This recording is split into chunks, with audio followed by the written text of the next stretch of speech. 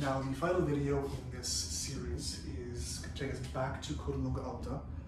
Uh, Angelina mentions that this is the section where you can do a couple uh, less elegant plays, which is an interesting thing to say because we have some rather straightforward actions and then a few things that are quite quite complex.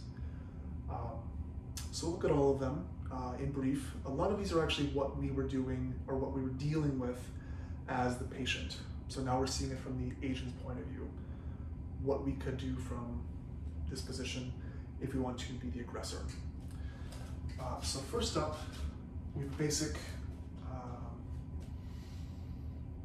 list of things we can do. So if I start with a thrust, I can feint a reverso and then throw a mandrito to the leg. So very, very similar to what we do in the crossings of the middle of the sword in Dall'Agocchie. So we're going up. You're going to thrust to the face. We're going to give a look of a reverso, but throw a mandrito to the leg instead. So very similar to this over here, except we are going low with that cut and not high. We could also feint a mandrito to the head and throw a reverso to the leg. So this is very similar to this idea from Iron Gate, where we are coming up here and striking to the leg with that number six. So same start, once you pass forward, give a look at mandrito, throw the reverso, and get out of there. So we have stepped forward with the right foot. I'm gonna give the look, and our right foot is free, which is the foot I'm gonna use this time. Strike, get out, and continue moving. Third option is we can just come in, do a thrust, and throw Mandrito to the leg. So kind of the first, so kind of the, yeah, the first play, just minus the feint. And if you've ever done any 133, this is a very, very common play. So we are going alto, step forward, and strike low, keeping the buckler, closing the high line to our inside.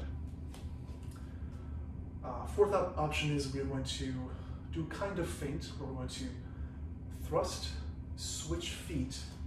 So doing this changing step and striking with a fendente, for example, or it could be any attack really. But in this case, to the high line. So we're here, we're going to reach out and then throw whatever makes sense. So we're gonna test the waters a bit with this thrust without any feet. reach out, see what they do, and then come forward with one of those three attacks depending on what they do. Uh, next couple he says there's there's no feet involved. There's going to be feet involved, but we need to be quite small compared to passing steps or triangle steps. So first up we have a mezzo mandrito to the hand, assuming the hand is available, of course. If not, we'll hit the sword. Followed by a reverso to the leg. So essentially, we are taking the hand and then going for the leg. So we want to put a little bit more movement to this. We can treat this as being a quick transition to cinghiale and then immediately going to Coda Lunga stretta as we strike the leg. So do that again. Cut the hand that, and then strike to the, to the thigh with that number six. Uh, we could also just, if the hand is available, throw a falso, falso dritto to the hand that's that's available. So, and we've done this a lot in, say, sword and dagger, but instead we're gonna use our feet. And I would do the same thing here as well. Although he technically says no feet, it makes a lot of sense and that opens us up, opens up the a lot of possibilities like the putin falso, or the cut to the leg, and the other things we know how to do. Next up, we are going to do something that's very similar to what we see in the stepping in the guards, where we're going to go from Coda Lunga Alta and do a imbroccata and end up in Iron Gate, and then come up and down with a falso followed by a. So we're here, we're going to step to their side, come down to Portaferro Larga. If they attack, we beat, and we strike on the same line. So that shoulder to hip line, that mandrito. Finally, we have a false edge cut, bringing us to this long point position. The fork here is a little bit hazy, but it's there's an assumed step forward with the right foot. So essentially, we are here.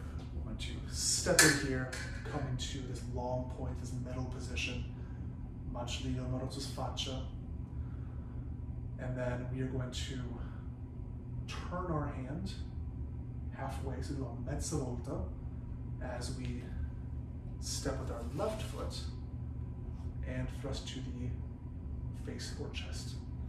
And he says this is particularly good against left-handed fencers. So we're here, coming up here, assuming there's a right foot pass, and then we can do a half turn, which depending on where their sword ends up, this could be here, I may need to go here, but whichever way I go, I'm going to be turning my hand and striking with uh, through guadagnare, so I've gained their weapon and I'm striking two face or chest. Uh, he then inserts a little section on fighting left-handed fencers. I'm going to save that for later. Uh, and then he goes back to three more plays from Coda Lunga Alta, how to deal with two uh, basic attacks, and then a somewhat complex uh, provocation sequence. So if we are dealing with a mandrito to the head, we're simply going to step back, strike the hand. Again, assuming that they are attacking with their hand past the buckler. And if not, we'll just hit the sword and set ourselves up for the next thing to gain some tempo. So here, they strike, aim for the hand, if not, hit the sword. We do the exact same thing for dealing with an attack to the hand, to the leg. But in this case, the sword, the sword hand is in fact available because they must be separating their hands a little bit.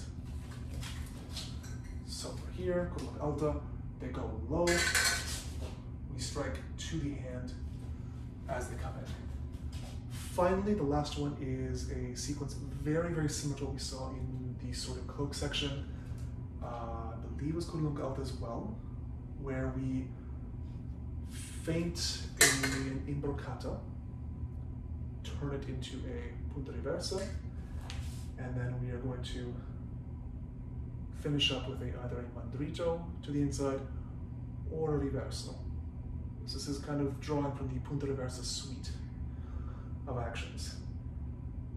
So Mancini describes this in a much bigger fashion in that we're starting with a thrust.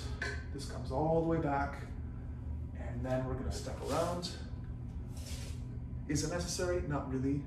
Uh, I would just start from that uh, imbroccata, so I'm just gonna show that part. So for here, like we did before, this is going to this is going to be a feint, so I want to see what they're going to do. So I want to make sure I'm not stepping too deep. To make this work, I want you to step in a little bit. They do some sort of response. Going to change over to their outside. As they defend, I can go through head guard, strike to the head with a mandrito tondo, for example.